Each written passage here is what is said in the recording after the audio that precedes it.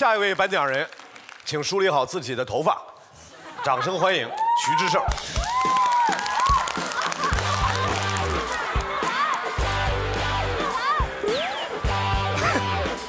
大家好，我是志胜啊。我也没想到自己也有这么一表人才的时候啊。穿成这样，主要和接下来这个颁发的奖项有关系，因为我接下来颁发奖项叫年度时尚奖。就节目组让我来颁发这个奖项，也看得出来咱们节目组却对这个奖项的不重视哈。然后扶持新锐导奖嘛，我也没想到咱们节目组竟然连年度时尚奖都准备好了，可能就是想让大家以后去颁奖典礼就穿的得体一点。当然了，今天是杜小满冠名的颁奖典礼，所以大家肯定都特别得体。所以我们就来看一下能够入围这个年度时尚奖的都有谁了。我们先看一下 VCR。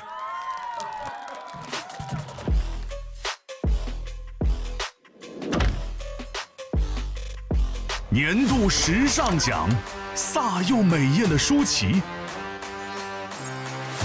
走路带风的王珞丹，阳光帅气的胡国汉，你以为是他们吗？大错特错，其实是他们。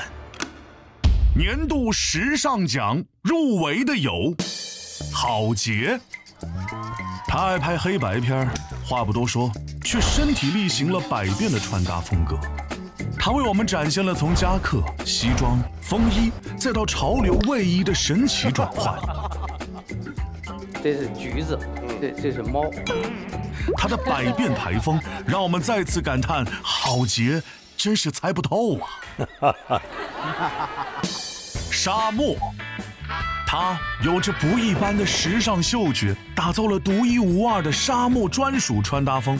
老虎包是标配，脚踩上各类花袜子，吸睛亮色搭配，最后再戴上小墨镜，潮流人沙漠上班了。他就是走在时尚尖尖的潮流沙，不值一提，不值一提。潮流沙，刘震云，风趣都掩盖不了的完美身材比例，自信的步伐，走路带风，每次不重样的时尚行头，无时无刻飘逸的魅力秀发，他就是刘震云。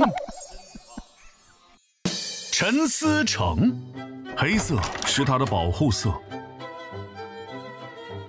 嘴角的酒窝是他的颜值符号，以不变应万变的经典时尚品味，他就是陈思诚。嗯，怎么会这样？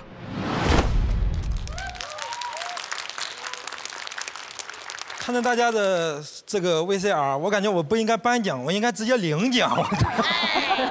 陈思诚导演啊，每次录制基本上都是黑衣服搭白色内搭，然后加上修身的黑裤，几乎每次都是这这样。刚开始我觉得还挺有风格，后来就感觉是不是就只有这一身衣服呀？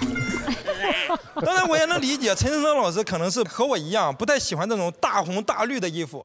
当然了，我不喜欢，不是因为这种衣服不好看，只是因为我是一个红绿色盲。下一位提名人啊是刘震云老师的发型西装。节目里啊，服装团队给震云老师穿搭基本上都是精致的休闲风格，瘦高个，发量又多，再加上帅气的西服，三个元素你一搭配起来，谁看了都得感叹一句：河南延津竟然也有孔刘啊！而且关键是我发现刘震云老师和我一样有一个经典动作，喜欢捋头发。但我捋完头发，观众一般都笑。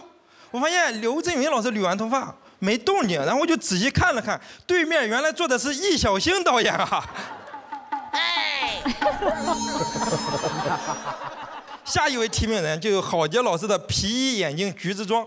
我觉得郝杰老师获奖的可能性很大，因为他身上就有那种模特的那种气质，就是高冷。因为谁话这么少，都显得很高冷。关键是就是郝杰导演的部分我就说完了，倒是不是说这个我话少，只是我希望向郝杰老师致敬。最后，最后一位提名人啊是沙漠老师的老虎包花袜子。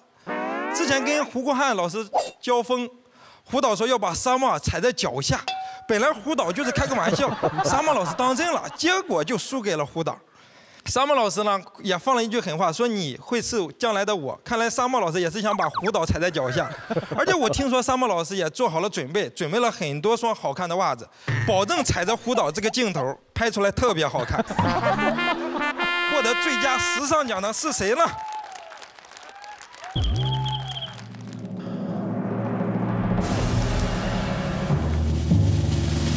郝杰导演。哎呀。